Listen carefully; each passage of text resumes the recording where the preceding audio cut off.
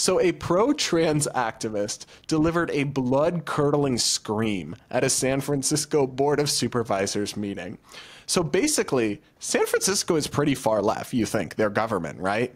But Yes. this person uh, went to the San Francisco Board of Supervisors meeting recently um, to protest them because they're not left wing enough, because they're upset about a transgender person who was recently killed while trying to steal from a local Walgreens. And I, I don't know any uh, anything about that case, so I don't want to get into the details of this. But a speaker named Leah McGeever spoke uh, at this meeting, and it's honestly the the most unhinged thing I've ever seen. And I'm just going to play it for you because I don't know how to describe it. I don't have any words prepared today.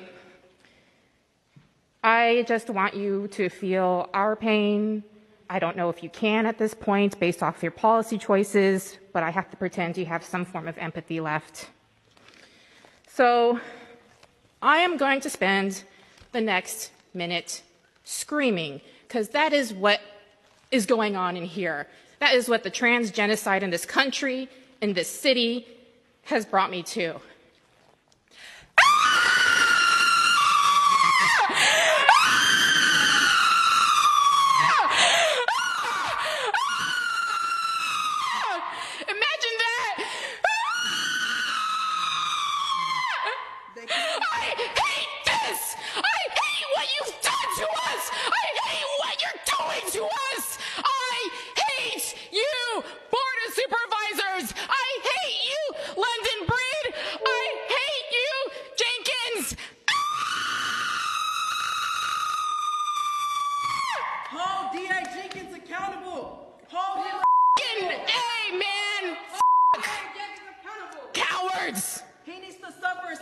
All right, so much there.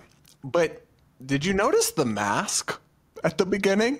She's still wearing a mask. Of course they are. Of course, there are people in New York City that are still wearing masks. I saw somebody yesterday riding their bike with a mask on. Bruh. Still Outside? outside, 70 degrees, 75 degrees, sunny, beautiful day with a, with and it wasn't even the K, K95, the N95. It was the stupid blue one that no, that everyone knows that doesn't do shit.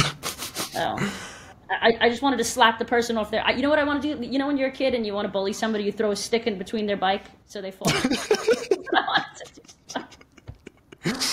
I can't. Um, so I just have to say, like, the childishness of this. You're gonna go to an event and speak to your elected officials and not make any argument, not make any policy points, but just scream.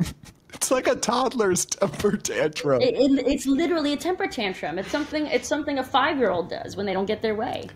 it's also like not a good look for i'm guessing this person is a they them or a gender queer or uh, would call themselves trans Right. whatever it is you are not, that is what people are seeing on fox news right and they're thinking the lgbts are crazy thankfully i think most sane lgbt people would think this person's nuts but it's like Right. not in our name are you going to be acting like a clown up there acting Right. like a buffoon screaming and throwing a temper tantrum and acting like that's how we act that's not how any of us act because we're adults we're not little children and toddlers And you, again, again, it, it, it it hits home with the point we made before at the beginning of the podcast.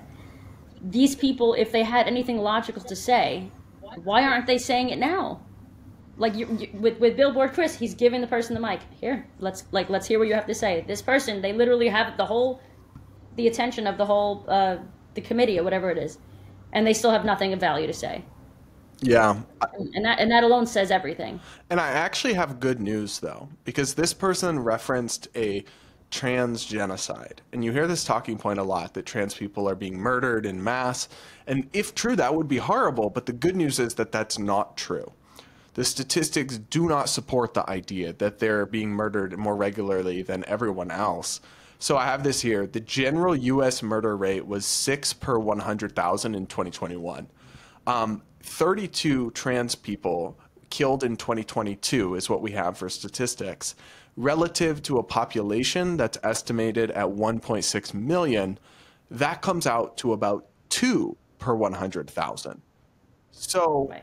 even if um, you extrapolate that data out, because that was incomplete data for 2022, you have a most three to four trans people per 100,000 were killed in the year of 2022. That's below the average. There's not a trans right. murder epidemic. They are right. slightly less likely than anyone else to be murdered.